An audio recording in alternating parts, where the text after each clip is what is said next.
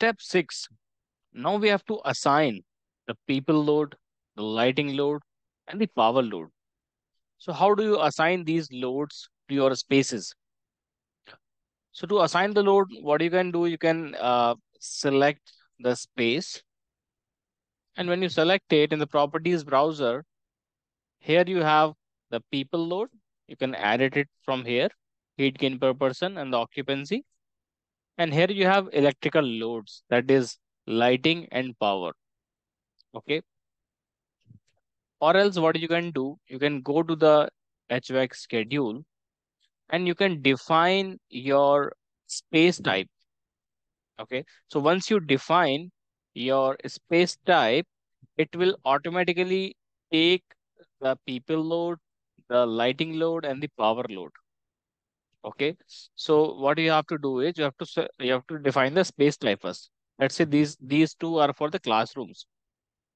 Okay, these are the classrooms. So uh, I'll select this and I'll select classroom, lecture training. Similarly for this one, classroom, lecture training. It's uh, storage. So I, I'll just check it at which storage it is. So when you select this uh, uh, storage row, here we have an option highlight in model. So it will highlight in the model. So this, is this is storage where we don't have any occupancy, right? So I'll just uh, select these two storage or else you can modify it from the schedules as well. Storage. So when you type storage, we have active storage, we have inactive storage. So it's an inactive storage. There is no occupancy. Okay. If it if it is occupied uh, storage, you can specify the active storage. So inactive storage, click OK. Next, we have conference. So I'll type conference. We have a space type with the conference.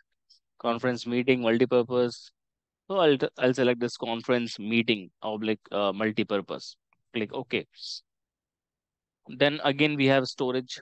So I'll select the inactive storage. Reception. So do we have any reception, reception oblique waiting models? Okay. So same I'll take. Now we have office. These offices. So I'll select office. Now we have two office open plan, office enclosed. So office enclosed means the rooms. Open plan means the cubicle type, the open open uh, floor, open floors, uh, where we have the cubicles. So th those are open plan. But in our project, we have we have uh, rooms enclosed. That means enclosed rooms. So uh, if you want to define these all at once, you can select these three. Go to the properties browser. Here, you can define the space type. Click on this uh, office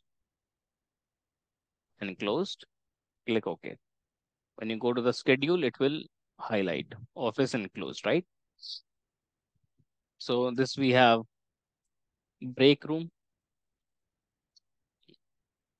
Break room. So for break room with that name, we don't have any. Do we have any with the cafeteria? Okay, we don't have the cafeteria. So for that one, you can define with any okay okay okay okay okay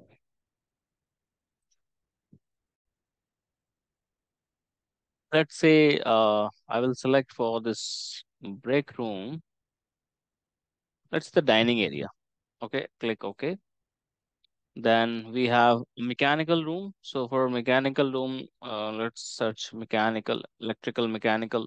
Okay, click OK. Then we have corridor, corridor transition. Okay, it's a telecom, electrical. So these two spaces, these two are electrical, mechanical, right? So you can select these two by once and you can define it in the building electrical, mechanical. Now we are left with the toilet rooms, men's and women. So I'll select these two toilets and I'll go to the space type. And here the toilets will be with the name restrooms. So restrooms, click OK. Now go to the schedule. Now we have defined the space types for the spaces. What kind of space? Now based on this, based on the data these spaces are having, right? For example, for office enclosed, we have a data, right, associated with this, the uh, the people load, the lighting load, and the power load. So all this data will be assigned to the respective load categories. Okay, in the people lighting and power load. The next thing what you can define in this one is the condition type. What do you want? do You want to uh, cool this or heating? Right now we are cooling for uh, we are we are we are doing the cooling in this one in this uh, project. So uh, let's say if I select the spaces, let me make it cooled. But there are a few areas which we need to change. Like in the classroom, we need in the storage. In the storage, we make it as unconditioned. Similarly for the storage as well, unconditioned. Reception, we need cooling, office, break room, mechanical room. Mechanical room is only natural ventilation. Okay, why we select natural ventilation? Because uh, we can ask for a for a louver in this mechanical room. Okay, for the natural ventilation. Then we have corridor. Corridor when we need to cool telecom, electrical rooms. Yes, men's and women. These are the toilets. Okay, so for toilet, for toilet, uh, these are being vented by exhaust fans. So I'll select vented. Okay, so this is how you'll select the condition type. Okay, as per your requirement. Now, uh, when you go to the people load, let's say, for example, people load, okay? So in the people load, you're not, uh, when you select this number of people, you're not able to change it. Why? Because occupancy unit is by space type. That is by space type. Okay. So if you want to change any number by yourself, you can you have you can change it when you make it by number of people. So once you make it number of people, you can change it. Okay. Now there are some areas. There are some areas where I want to define the occupancy because they have the architect has given us the furniture layout. So where the architect has given us the furniture layout, there we will define the occupancy. Okay. Like these classrooms, these are offices, the, in this conference, they have given us the furniture layout. Okay. So we can uh, count the sitting areas, sitting chairs or whatever they have placed, and we can define in the load schedule, right? Like in the classroom. So there are how many sittings are there? 1, 2, 3, 4, 5, 6, 7, 8, 9, 10, 11, 12, 12 and 13. So 13 in both the in each classroom, right? So you can go to the space type. I don't want to specify by space type. I want to specify manually. So for manually, you can select number of people and you can select here 13. Similarly, for this one, I don't want to uh, use space type. I want to specify by number of people. Make it as 13. Now, what about the conference? So in conference also, they have given us the furniture layout. How many occupancy?